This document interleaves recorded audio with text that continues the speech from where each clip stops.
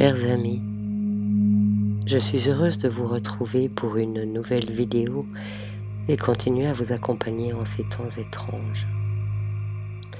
Aujourd'hui, je voudrais vous parler de la chaleur de notre corps, cette chaleur qui coule dans nos veines et que l'on retrouve jusque dans chacune de nos cellules, ces merveilleuses artisanes de vie la science ignore en fait d'où vient cette capacité à produire et surtout à maintenir notre chaleur selon les processus de la thermogenèse et de la thermolyse.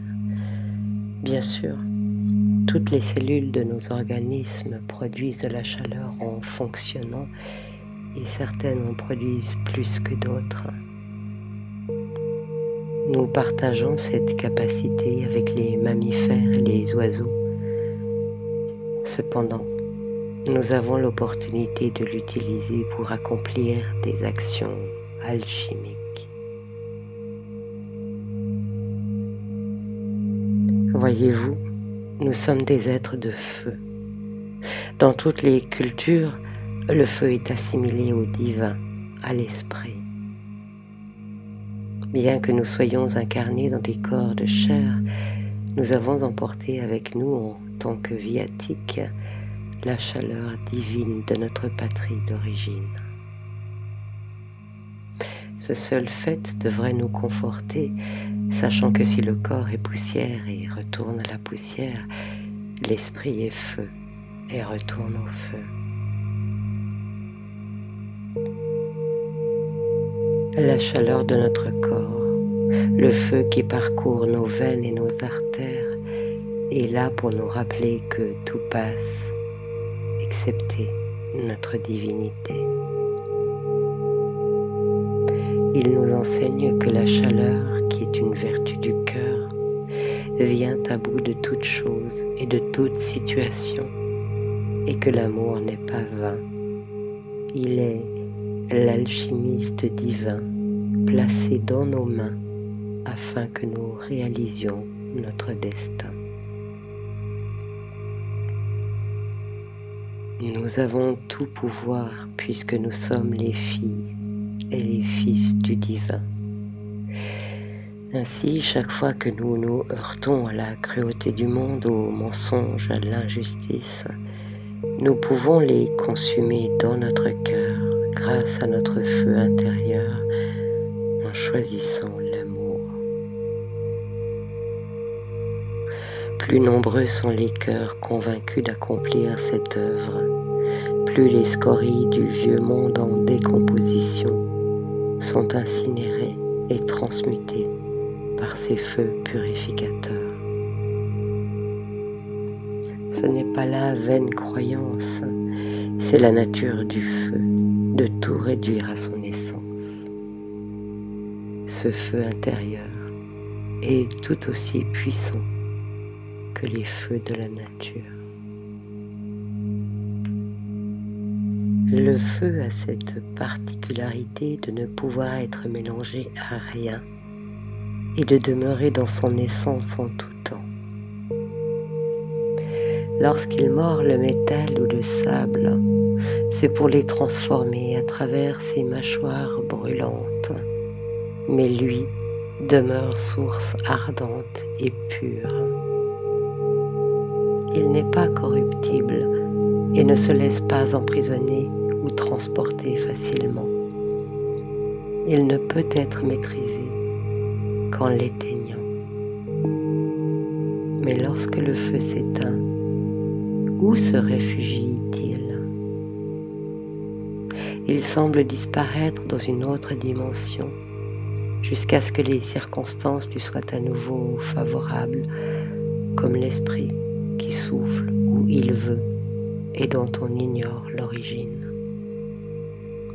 De même, le feu de nos actions, lorsqu'elles sont accomplies, se replie dans la chaleur de notre corps. On dit que l'on reconnaît l'arbre à ses fruits, comme on reconnaît le feu d'un être à ses actes.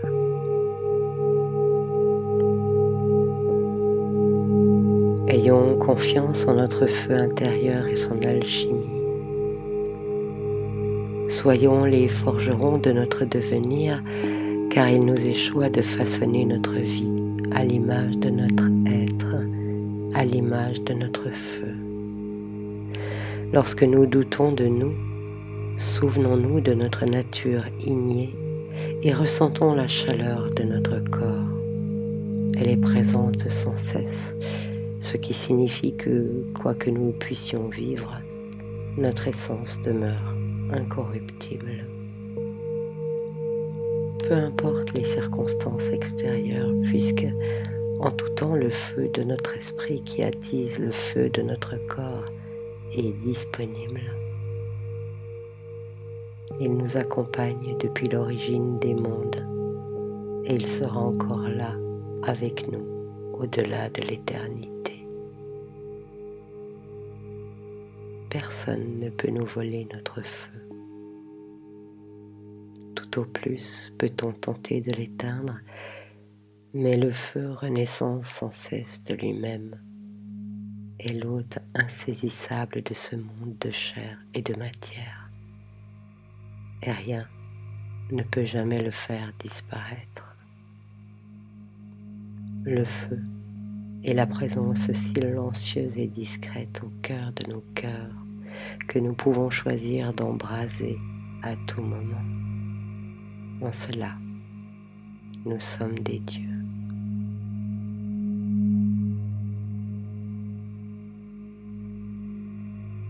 Quand le monde te semble étrange et bien incertain, quand les circonstances se dressent en vent contraire et que glissent entre tes doigts les jours éphémères, alors que tu doutes de toi et du lendemain, souviens-toi du feu inné qui coule dans tes veines, ressens sa chaleur dans le souffle de tes mots, ressens sa présence sous les muscles de ta peau, afin qu'il éveille encore ta foi souveraine. En toi se consument les erreurs et les faux pas. En toi se réduisent en cendres peurs et illusions. Il n'est rien que tu ne puisses accomplir déjà lorsque ton feu embrase tes claires aspirations. Tu es né du feu et tu redeviendras feu comme l'oiseau revient au nid après migration. Tu es brûlant comme le foyer du forgeron où tu forges l'épée radieuse de ton jeu. À ce feu intérieur, tout est vraiment possible. Le monde et les temps passent, mais pas ce feu en toi.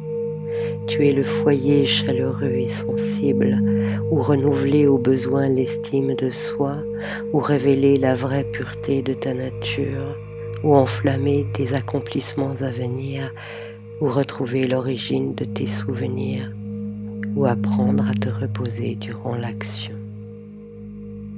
Tu es feu, et le monde ne peut rien contre lui. Tu es feu, et l'apparence se consume en lui. Tu es feu de toute éternité à jamais. Tu es feu de ton jeu, et c'est ainsi parfait.